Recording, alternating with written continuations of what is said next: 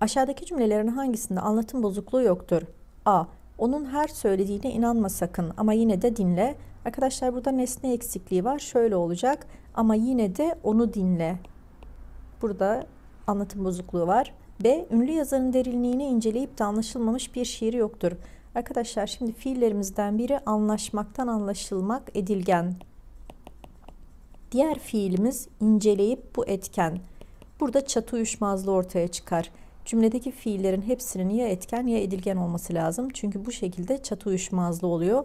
O zaman bunu edilgen yapacağız. İncelenip incelenip şeklinde bunu edilgen yapacağız. Yani şöyle olacak. Ünlü yazarın derinliğine incelenip de anlaşılmamış bir şiiri yoktur. Çatı uyuşmazlığı olduğu için bu da gider. C. Edebiyatımızda bireysel ve toplum gerçeklerini ele almış kaç yazarımız var ki?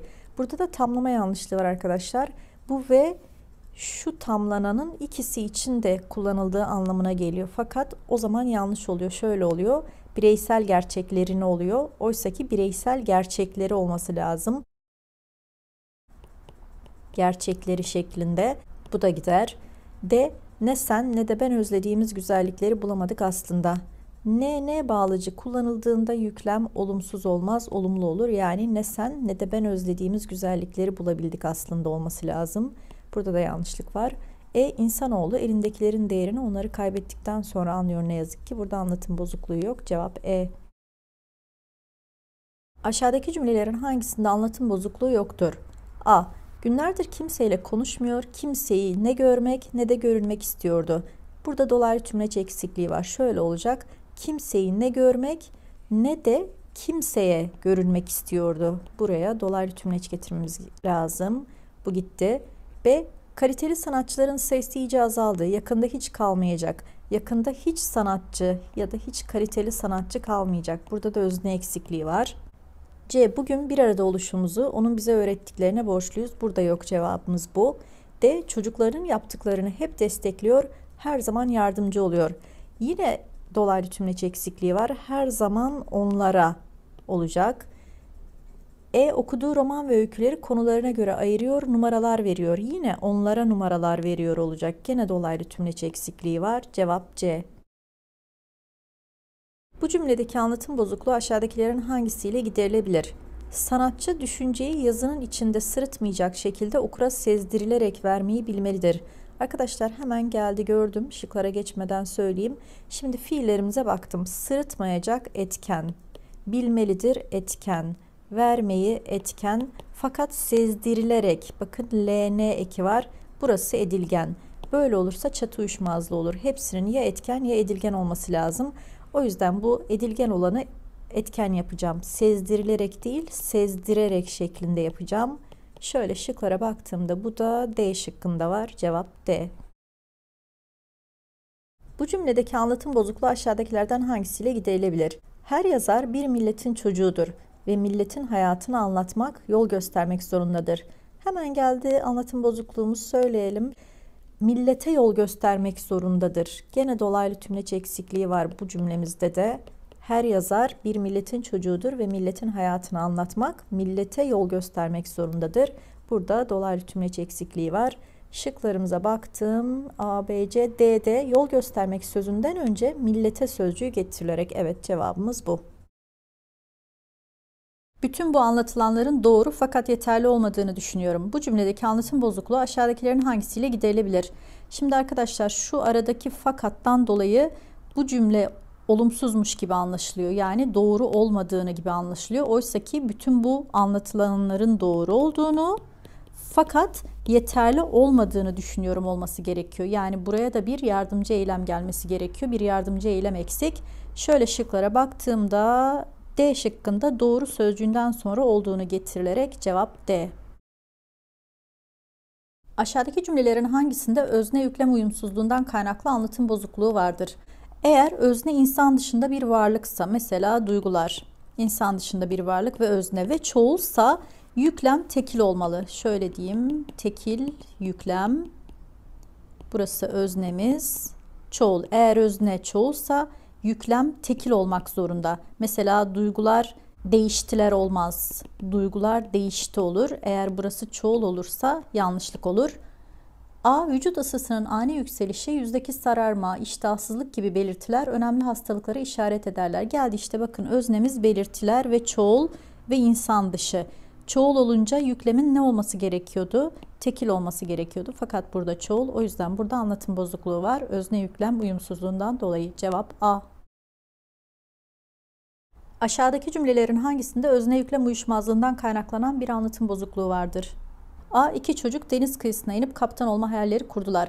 Arkadaşlar bir kural var. Eğer özne sayı sıfatıysa burada olduğu gibi iki çocuk şeklinde çoğul eki alamaz. Çoğul eki almadığı için yüklem de çoğul olamaz. Yani yüklemde de bunlar olmamalı. Şöyle olmalı. İki çocuk deniz kıyısına inip kaptan olma hayalleri kurdu. Yani burada özne yüklem uyumsuzluğundan kaynaklanan bir anlatım bozukluğu var. Özne tekilse yüklem de tekil olmalı. Cevap A. Bu cümledeki anlatım bozukluğunun nedeni aşağıdakilerden hangisidir? Köktürk yazıtları Türklerin kültür ve siyasi tarihlerine ışık tutan önemli belgelerden biridir. Arkadaşlar burada tamlama yanlışlığı var. Şimdi tamlamamıza bakalım. Kültür isim. Kültür tarihi olursa isim tamlaması olur. Siyasi sıfat. Nasıl tarih? Siyasi tarih. Şimdi burada şu V bağlacından dolayı şu tamlanan hem bu kelime için hem de bu kelime için kullanılmış demek. V bağlacı birbirine bağlamış bunları. Fakat bu şekilde bir tamlama olmaz. Yani ya isim tamlamasıdır ya sıfat tamlamasıdır. O yüzden kültür kelimesini, isim olan kültür kelimesini de kültürel yaparak sıfatlaştıracağım. Nasıl tarih? Kültürel tarih. Nasıl tarih? Siyasi tarih. Şu anda ikisi de sıfat tamlaması. Öncesinde biri isim tamlamasıydı, biri sıfat tamlamasıydı. Yani yanlışlığımız tamlama yanlışlığı. Şıklarda da C'de cevap C. Aşağıdaki cümlelerin hangisinde anlatım bozukluğu vardır? A. Reddetme özgürlüğünün olmadığı yerde kabul etme özgürlüğü de yoktur. Burada yok arkadaşlar göremedim. B. Söylediklerimizden aksini yaparsak kimsenin bize inanmasını bekleyemeyiz. Şimdi burada ek yanlışlığı var. Söylediklerimizden aksini yaparsak değil, söylediklerimizin aksini yaparsak tamlayan eki kullanılmamış. Daha doğrusu deni kullanmış ama burada den tamlayan görevinde değil. Normalde denin tamlayan görevinde kullanıldığı durumlar var ama bu cümlede olmaz. Burada şöyle olması gerekiyor. Söylediklerimizin aksini yaparsak kimsenin bize inanmasını bekleyemeyiz. Yani cevap B. Aşağıdaki cümlelerin hangisinde bir anlatım bozukluğu vardır? A. Karanlık çökünceye kadar bu heykelleri seyredip tarihin gizli sayfalarına uzandım. Burada yok. B. Saçlarımı yıkayıp güzelce fön çektiğim halde saçlarım taranmamış gibi.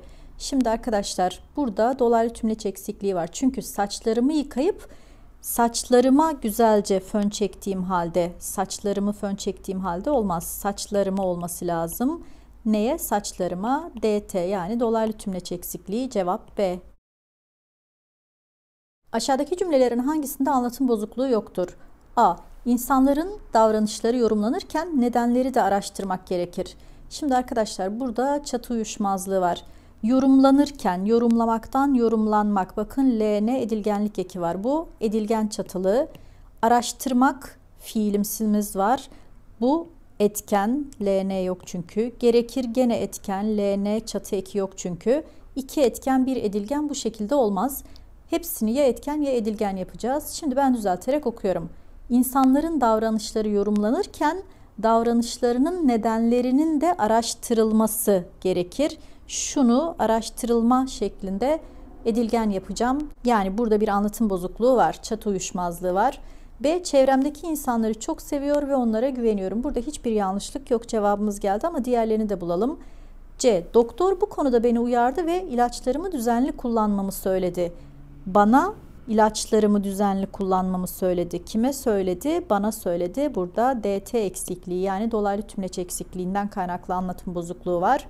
D. Bu gömleğin kendisi için gerekli olmadığını biliyor ama yine de alıyor. Gömleği yine de alıyor.